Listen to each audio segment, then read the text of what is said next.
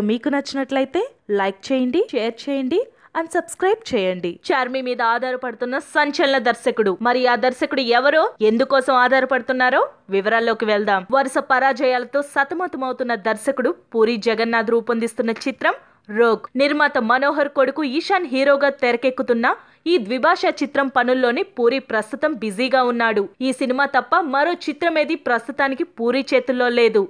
అందుకే రోగ్ విషయంలో చాలా జాగ్రత్తలు తీసుకుంటున్నాడట పూరి. అలాగే పబ్లిసిటీ పరంగా కూడా ఎక్కడ వెనక్కి తగ్గకూడదని భావిస్తున్నాడట.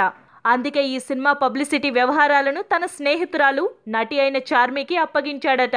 జ్యోతిలక్ష్మి సినిమాకు ఎగ్జిక్యూటివ్ ప్రొడ్యూసర్గా చక్కగా బాధ్యతలు నిర్వహించిన చార్మి అయితేనే ఈ సినిమా పబ్లిసిటీ పనులను ఎఫెక్టివ్గా చేయగలదని పూరి అనుకుంటున్నాడట. అందుకే రోగ్ పబ్లిసిటీ వ్యవహారాలను పూర్తిగా చార్మి అన్కో మీద పెట్టాడట.